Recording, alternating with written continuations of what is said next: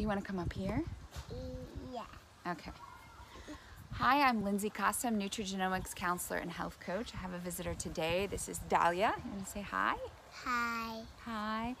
And uh, I want to just talk about weight and weight gain. Is it genetic? Is it environmental? Well, they've done identical twin studies to be able to, to look at this where twins have exact same DNA as the other.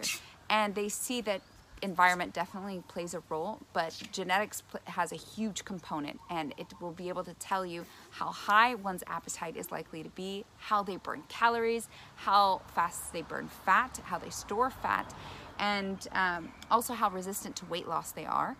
There's also another thing that we don't need a genetic test to tell us, but uh, if exercise or diet is likely to play a larger role in weight loss, sometimes we don't need genetics to tell us that. But the other things are really helpful to, to know if um, how our genes are impacting our weight.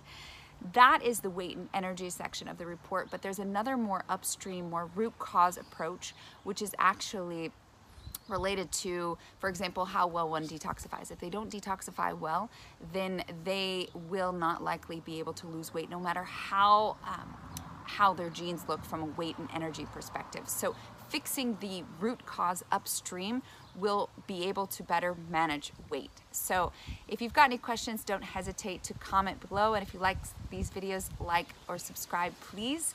Thank you so much for watching and health up everyone. See you, bye-bye. Goodbye.